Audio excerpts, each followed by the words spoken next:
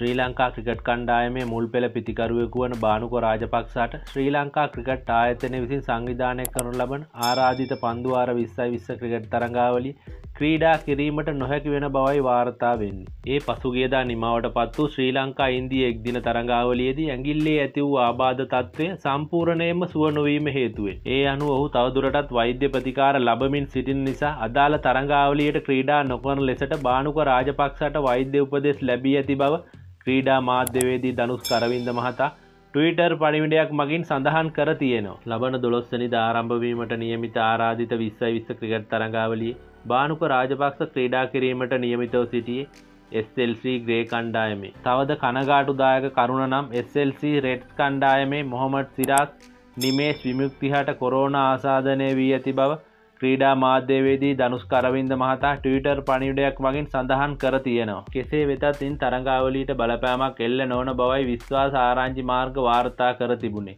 සියලු කණ්ඩායම්වල සෙසු ක්‍රීඩකයන් සියලු දෙනා තරංගාවලිය ක්‍රීඩා කිරීම සඳහා මහනුවර බලා පිටත්ව ගිය. දිනෙන් දින අලුත්වන මෙවැනි ක්‍රිකට් විස්තර ඉක්මනින් දැනගන්න විකසිත ලෝකයේ ක්‍රිකට් චැනල්ල එක සස්ක්‍රයිබ් කරලා බෙල් අයිකන්න එකත් ඔබල තියාගන්න. සියලු දෙනාටම ක්‍රීඩාශීලී දවසක්.